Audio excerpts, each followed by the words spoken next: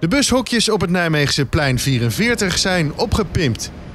Artiest Egbert Scheffer maakte de transparante kunstwerken door middel van tape art. Kunst gemaakt van plakband, zoals duct tape.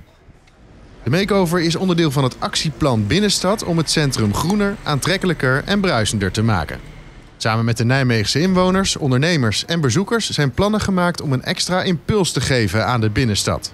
Het verfraaien van de vier bushaltes op plein 44 was een van die ideeën. Vorig jaar werden er in dit kader al schaaktafels geplaatst op de Wouwkade. En aankomende jaren zullen nog meer ideeën gerealiseerd worden.